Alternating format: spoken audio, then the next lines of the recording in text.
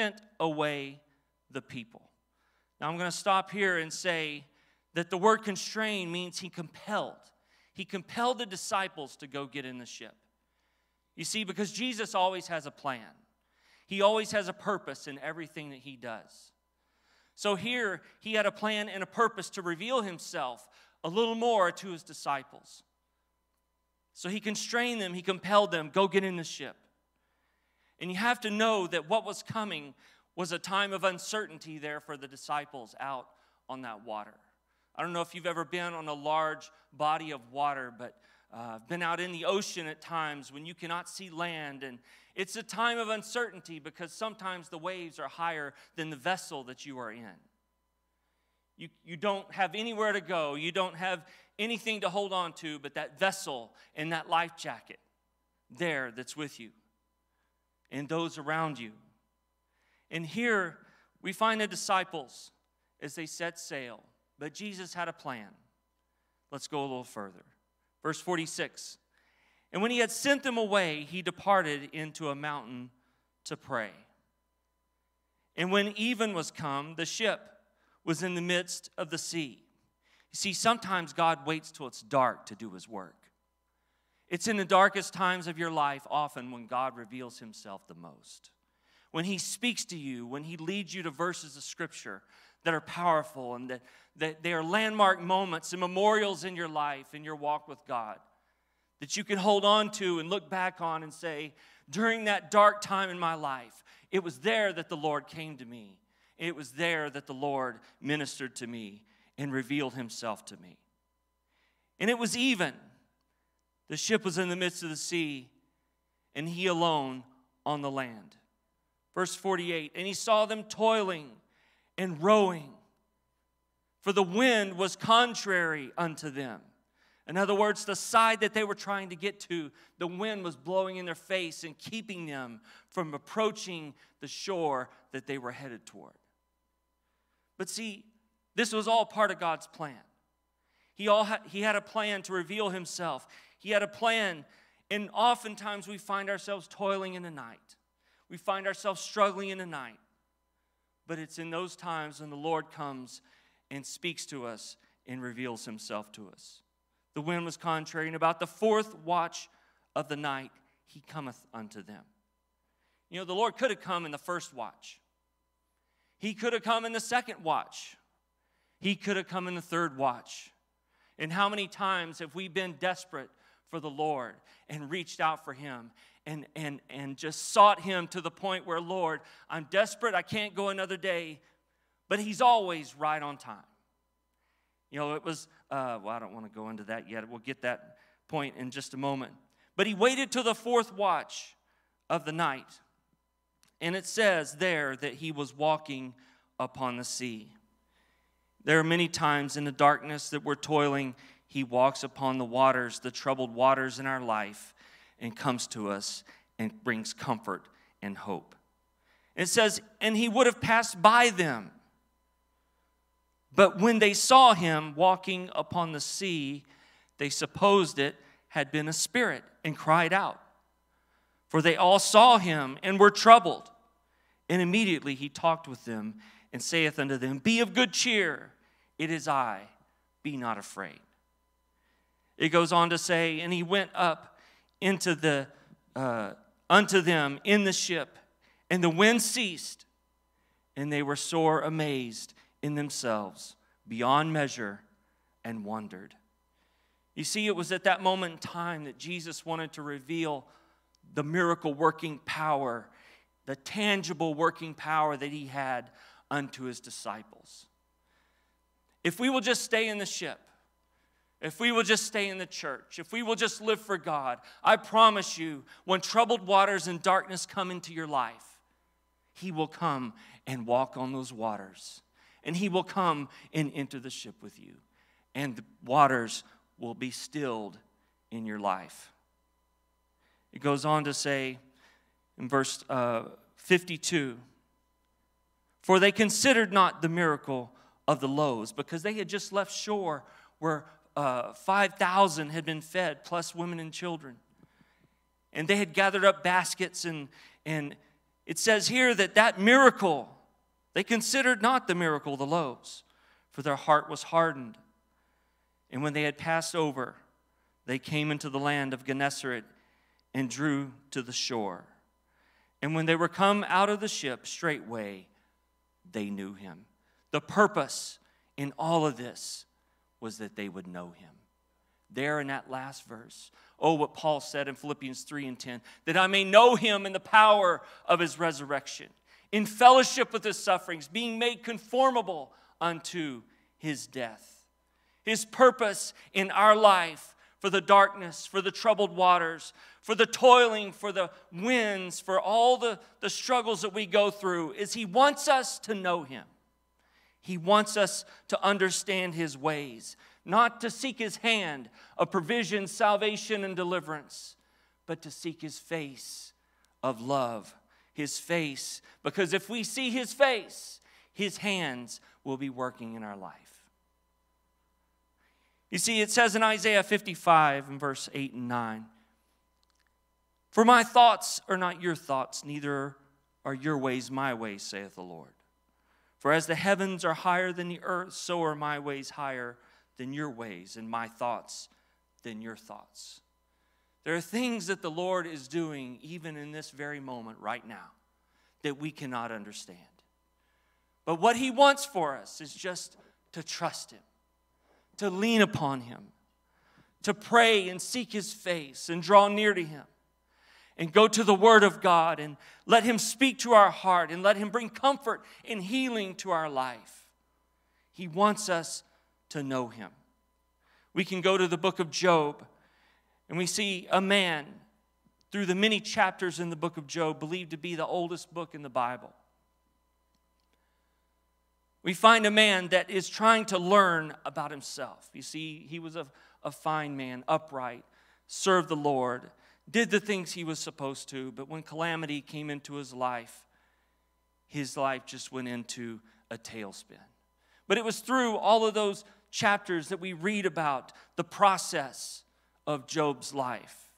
And I think all of us can look in that book and find ourselves somewhere in the book of Job and see the struggles that he went through and how the Lord ministered to him and how the Lord helped him. And eventually, God blessed him as a result of his devotion and his faithfulness. But he struggled. He struggled with doubt, he struggled with his peers, he struggled with many things as we read that book.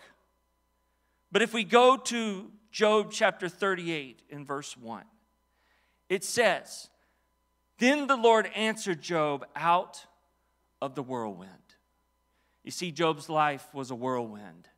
It was wind contrary unto the direction that he wanted to go. But it was in that wind, that whirlwind that was blowing in his life, that was contrary to what he wanted. It's there that the voice of the Lord spoke. It's there that God ministered to Job. I had the privilege of at, uh, listening to a message, a short message yesterday from uh, Jeff Arnold, and he said so many amazing things. And here he was talking about Job, and it's really true. We have to just believe that God knows what he's doing. As our pastor always says, have faith in God. Because if we have faith in God, no matter what comes our way, we're going to come through it on the other side.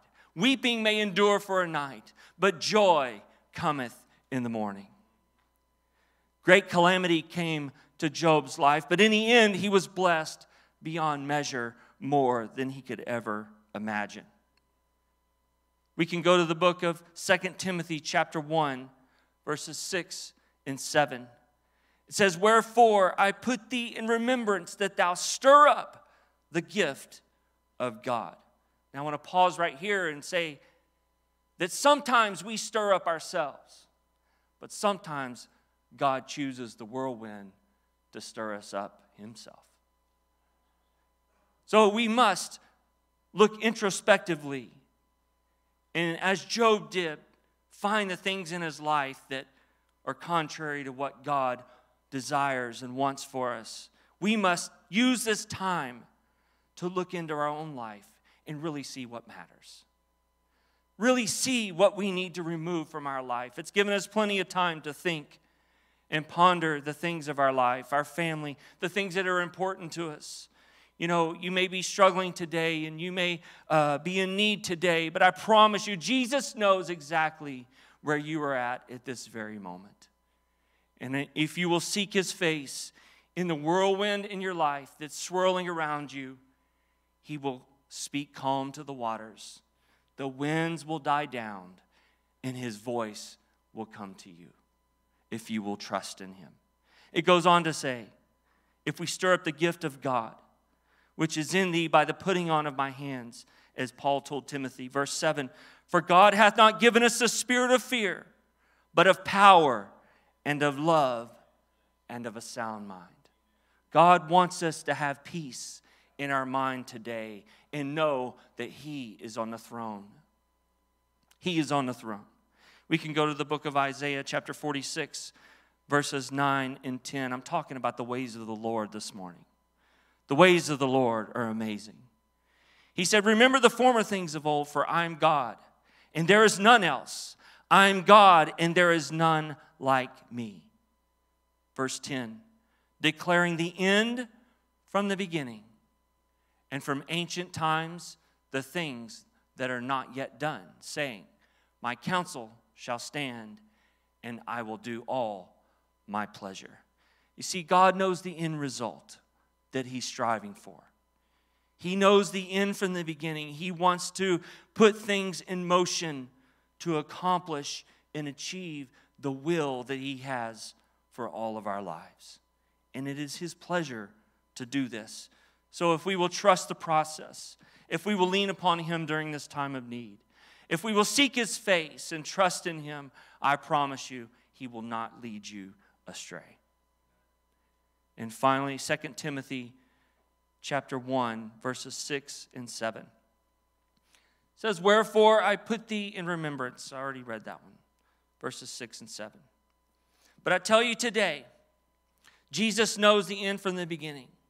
We can go to separate, uh, several stories in Scripture where it looked like an impossibility, but God was prepared for that situation. We can go to the demoniac at Gadara it looked impossible. It looked like there was no hope for this person. But in the end, it says he was clothed and in his right mind. To those around him, it looked impossible. But somewhere, somebody prepared and brought a change of clothes. Could it have been Jesus knowing that that man was going to be healed and in his right mind and he's going to need a set of clothes? You see, God knows the end from the beginning. He was right on time for Lazarus. They came to him and said, Lord, you took too long. Why did you wait so long? He's dead.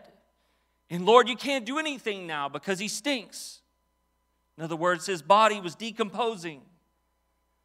But Jesus strolls on the scene and with that powerful voice says, Lazarus, come forth.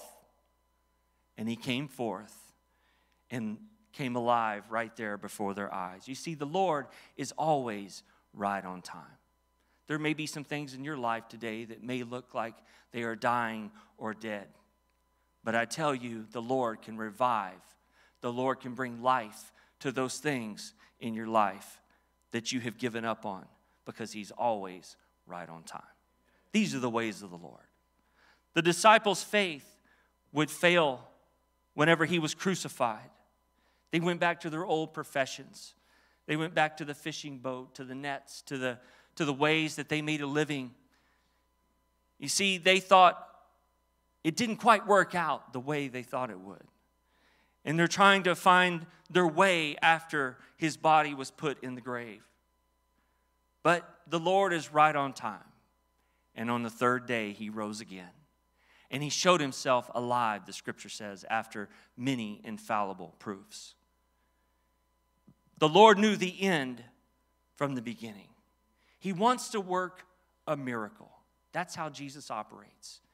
There's a need that arises. He would go about in the streets finding the needs, or the needs would come to him. He would do the miracle there in front of people's eyes. Then, after the miracle took place, a crowd would gather, and then he would proclaim the truths to the people around. And I tell you today, the ways of the Lord are even working in every life that's under the sound of my voice today. His hand is working in your life. If you will not seek His hand today, but if you will seek His face, I promise you, if you trust in Him, if you lean upon Him, His peace that passes all understanding, the Bible says, will comfort your hearts and your minds because He is the Prince of Peace. He is the one that will bring healing and hope to your life today. Thank you for joining us for the Sunday school lesson today. And we're going to close in prayer. And our prayer is that God would minister to you right now. Lord, we come humbly before you and believe, God, that your anointing and your power will go forth right now, Jesus. I speak peace to the lives in need today. Those that are suffering in their hearts and their minds, not knowing what tomorrow will hold, Lord. They may need healing in their bodies, God, but ultimately, you are in control. And I believe, Lord, right now that you can do a miracle even where everyone is at, in their place, in their home, that you can work in the lives of the believers today. Lord, reveal yourself as we seek your face, as we trust in you and lean upon you, because you are good.